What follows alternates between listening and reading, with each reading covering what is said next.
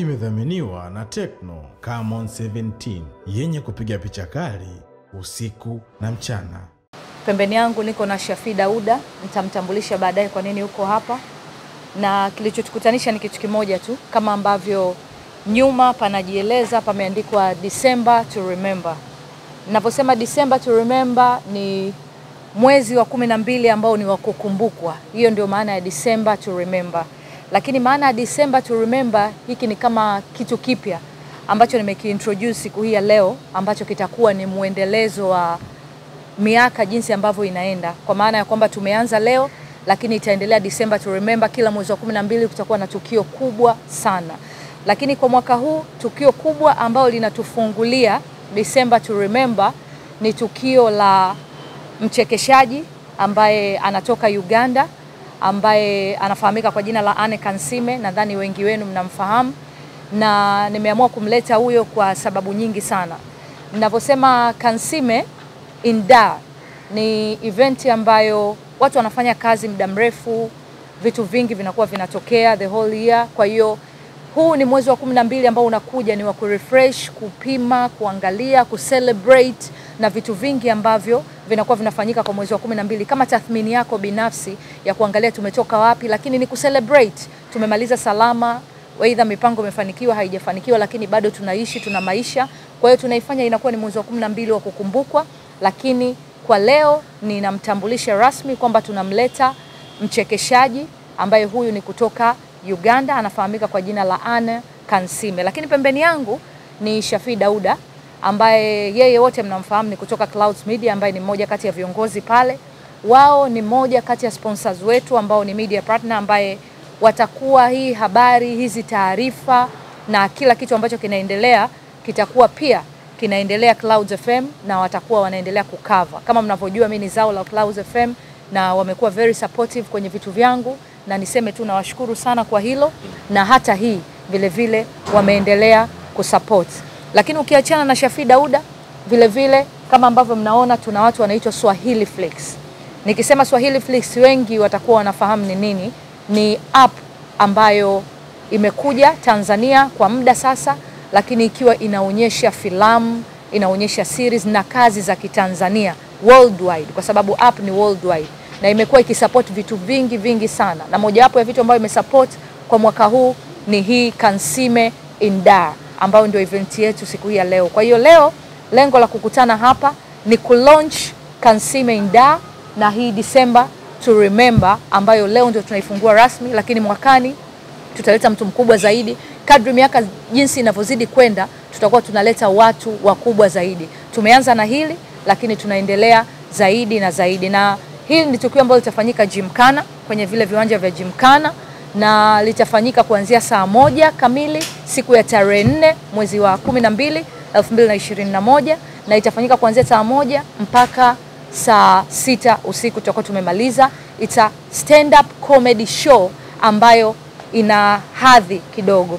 Watu wengi huwa wanapenda kutoka na ni watu ambao wanapenda kufurahi, kujichanganya, lakini kwa bahati mbaya sio kila sehemu inawa accommodate. Ninavyosema hivyo ninamaanisha kuna wale watu ambao labda hawapendi fujo hawapendi sehemu ambazo zina vijana vijana wengi. Hii ni sehemu ambayo naweza nikasema ni very special kwa ajili yao, na itakuwa ni sehemu ambayo watapata kile ambacho wanakitaka, watafurahi, watapata entertainment nyingi, watapata kuona hiyo stand up comedy ambayo ni Kansime, lakini akiwa ameongozana na baadhi ya top notch ambao ni kutoka hapa kwetu Tanzania. Kwa hiyo kiingilio chake kitakuwa ni laki mbili ya Kitanzania ili kuweza kuipa hadhi ambayo tunaizungumzia siku hii ya leo na kufanya liwe ni tukio la kukumbukwa na la kihistoria kama ambavyo tumelitambulisha kwamba December to remember. Kabla sijaendelea, ningependa kumkaribisha Shafii kama una chochote cha kuongea kabla hatujaenda kwenye launch yetu rasmi.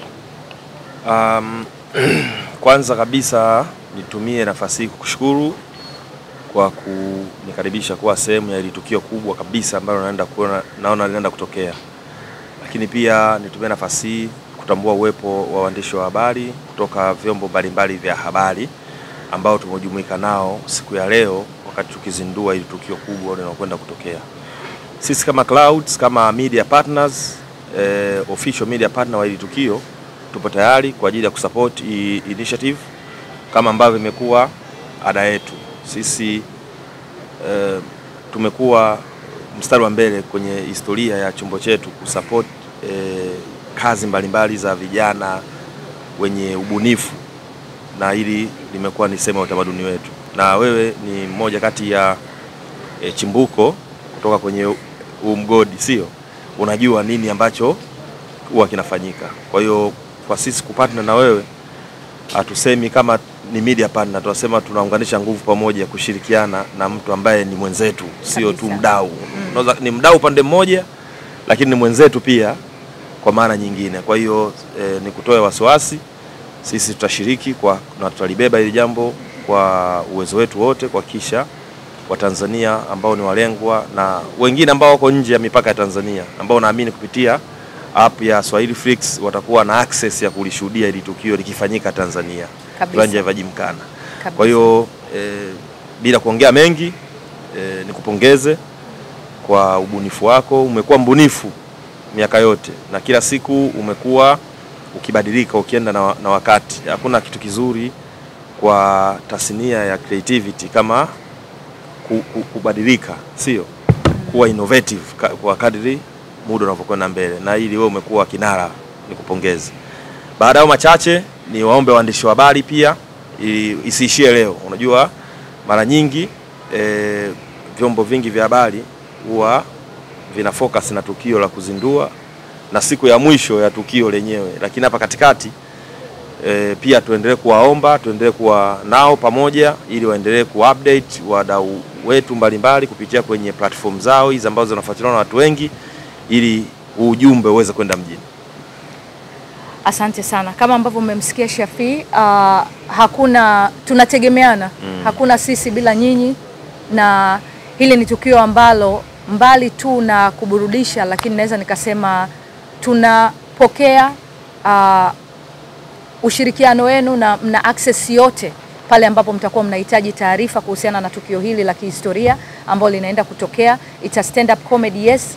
Kuna stand up comedy nyingi tunafahamu, lakini nawahakikishia hili tukio la December to Remember Kansime Inda litakuwa la pekee ambalo halijawahi kutokea. Hiyo nawahakikishia. Tumejipanga na tuna uhakika na kitu ambacho kinaenda kutokea kwenye upangiliaji, jinsi show itakavyoenda, washiriki wote ambao wataingia na burudani ambayo itakuwepo kwa siku hiyo. Kwa hiyo niseme tu niwashukuru sana sana kwa kuwa supportive for all this time ambao tumekuwa pamoja, lakini tuendelee kushirikiana na nahitaji zaidi support yenu kadri siku ambavyo tunaenda. Lakini kwa mtu ambaye anaangalia, niseme tu hili ni tukio ambalo una uwezo wa kuja na yoyote yule, hata kama una baba yako hujamtoa siku nyingi, una uwezo wa kuja naye kama una bosi wako una uwezo wa kumwambia ukaja naye. Ni sehemu ya kucheka. Tunajua wote kucheka ni kama therapy, ni kitu ambacho kinakuwa kama kina kurecharge na unakuwa unarudi katika hali ya kawaida. Kwa hiyo hii ni sehemu ambayo itaturudishia ule uhai wa kila siku ambao tunaendelea kuishi, lakini ni sehemu ambayo ita connect, naweza nikasema sio tu comedy, kwa watu ambao wataingia siku hiyo, kutakuwa ni kama networking. Ni sehemu ambayo utakutana na huyu, utakutana na yule, mtabadilishana mawazo na mengine yatatokea, mbali na burudani ambayo itaendelea kuwepo. Hivyo niseme tu niwashukuru sana sana Swahili Flix, na nawashukuru sana Swahili Flix kwa sababu ni watu ambao wameona ukubwa wa hii kitu na hawakutaka kuiacha, wakaona kabisa hiki ni kitu ambacho kinahitaji support na wameweza kunisupport kwa namna kubwa sana. Hii ni app ambayo una uwezo wa kuidownload na utapata taarifa nyingi ambazo tunaendelea kutoa.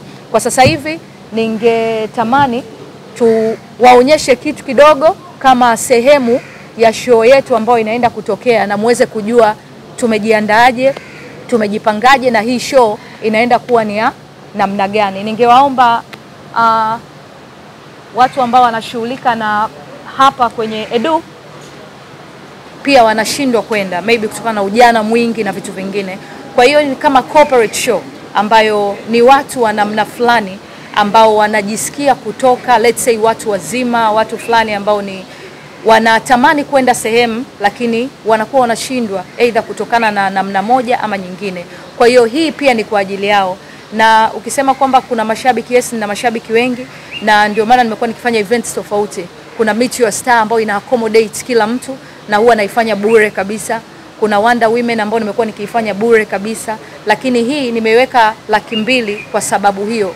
Kuna aina ya kundi ambalo naona kabisa huwa linasahaulika mara nyingi, ambalo wanatamani kutoka lakini hawapati zile sehemu zao ambazo wana uwezo wa kutoka. Yes.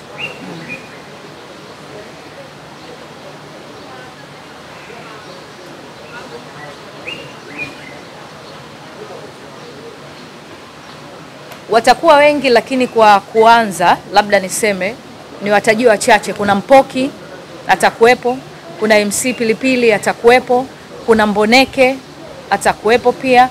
Kwa hiyo hao ni baadhi, lakini kutakuwa na lineup kubwa ya stand up comedy, I mean comedian wa Kitanzania. Yes. Tickets zinapatikana Gymkhana, zitapatikana Clouds na kuna vituo ambavyo tutaendelea kuvitangaza siku ya kesho ambayo watu wote watakuwa wanapata hizo ticket, na kwa wanaohitaji kununua meza pia tunafanya hivyo, ambao meza ni milioni mbili kwa meza ya watu kumi. Yes. Sisi tuna slogani yetu ambayo ni, ni kama utamaduni wetu ya kufungulia dunia kuwa Unachotaka. unachotaka. Kwa hiyo haiwezi hii- slogan ika make sense kwa watu wa nje, ni lazima i make sense kwanza kuanzia ndani, ili walioko nje waweze kuona uhalisia wa jambo linalozungumzwa. Kwa kwa Clouds kufungua milango kwa kwa watangazaji wake au wafanyakazi wake imekuwa ni utamaduni wa nyuma, kwa sababu ni, ni taasisi inayo embrace creativity, ni taasisi inayo embrace eh, vijana kutumia fursa kwa ajili ya kupiga hatua na kujiendeleza, na umeweza kuona kwenye kampeni zetu nyingi tumekuwa tukihamasisha hilo. Kwa kwetu hii sio changamoto, bali ni, ni opportunity kwa taasisi, kwa sababu eh, anapotokea m- memba wa taasisi ameventure kwenye kitu kingine alafu eh, kimemfanya akatoka automatically eh, sio yeye tu ana- anaye get benefit, lakini pia taasisi kwa picha kubwa ina, ina, ina get benefit, na mfano iko mingi. Um, nitoe mfano kama Millard kwa mfano. Millard ni mtangazaji wa Clouds, lakini ana media ya online nje ukiangalia sisi our main core business ni ni radio pamoja na TV. Yeye aliona opportunity ya digital wakati ule inakuja, akateki akaigrab akaenda nayo. Kwa hiyo sisi ilikuwa ni jukumu letu kumsupport na kuhakikisha anafika kule anapopataka. Kwa leo hii yeye ni mmoja kati ya watu ambao sisi tunajivunia kwa kile anachokifanya. Sio yeye tu, wako vijana wengine wengi ambao wanafanya mambo mengi za maradi mfano Umeelewa, kama nilivyozungumza mwanzoni. Kwa hiyo sisi kama taasisi malengo yetu makubwa yanakuwa yamefanikiwa, na tunaendelea kuencourage pia media zingine na taasisi zingine kuwekeza kwenye talent za vijana ambao wanao. Sio muda wote vijana wanatakiwa kuwekeza talenti zao kwa taasisi wanazozifanyia kazi, lakini pia na taasisi zina jukumu ya kuwekeza kwenye talenti za vijana ili waweze kupiga hatua kwenye maisha yao. na kuna kitu nataka niongezee kwa sababu ya swala la dada ambayo ameongea kuhusiana na bei. Uh, mi naamini ili mtu aone value au thamani au maana ya pesa yake ni lazima kuwe na vitu vyenye bei tofauti tofauti. Ndio maana kuna kiatu kimoja kinauzwa elfu mbili kingine kinauzwa elfu ishirini kuna kingine kinauzwa laki mbili lakini vyote ni viatu, ila kuna mtu tu akinunua kiatu cha laki mbili anajifeel good, yani hata maana ya pesa yake inaonekana, kwa sababu kusingekuwa na maana ya pesa kama wote tungekuwa tunanunua kiatu sehemu moja kwa bei moja, lakini pale kunapokuwa na varieties inafanya hata mtu afeel ile thamani au maana ya kile kitu au pesa ambayo yanayo. Kwa hiyo hata events, kuna events za elfu tano, elfu kumi, elfu ishirini, lakini hii ni moja kati ya zile events za high end kwa sababu tu ya kufanya watu wa namna hiyo ambao labda wanatamani kupata hizo platform na hawana, basi wapate sehemu za kwenda wa network, wacheke, wa enjoy na vitu vingine viendelee.